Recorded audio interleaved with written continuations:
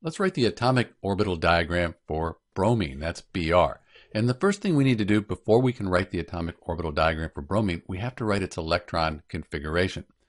Bromine on the periodic table, its atomic number, that's 35. And the atomic number, that's the number of protons. It's equal to the number of electrons for neutral elements. All the elements listed on the periodic table, they're neutral. So bromine, that's right here, and it has those 35 electrons. So we're going to follow the pattern on the periodic table here until we get to 35 and when we get to bromine and we've used those electrons. So we start off 1s1, 1s2. That's full second energy level, 2s1, 2s2. Then we go to the P, 2p, 1, 2, 3, 4, 5, 6. P holds up to 6, so it's 2p6. We've used 10 of our 35 electrons.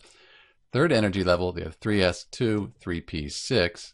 We're at the fourth energy level, 4s2, and then we go to the 3d, and d can hold up to 10. So we have 3d 10, and we go to the 4p, 1, 2, 3, 4, 5, and there's bromine. So 4p 5 if you count these numbers up, they'll add up to 35. So we can use this to write the atomic orbital diagram for bromine. So both this electron configuration for bromine and the atomic orbital diagram, we're just trying to show where the electrons are around the nucleus of the bromine atom.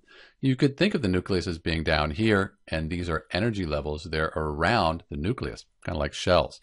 So we start off 1s2, two electrons opposite directions, 2s2, 2p6, spread them out and then pair them up. 3s2, 3p6, 4s2. For the 3d, we have 10, spread them out, and then pair them up. And we end up with 4p5.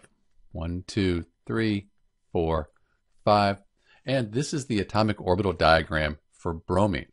Again, these represent the same thing. We're just trying to show where those electrons are around the nucleus of the bromine atom. This is Dr. B, and thanks for watching.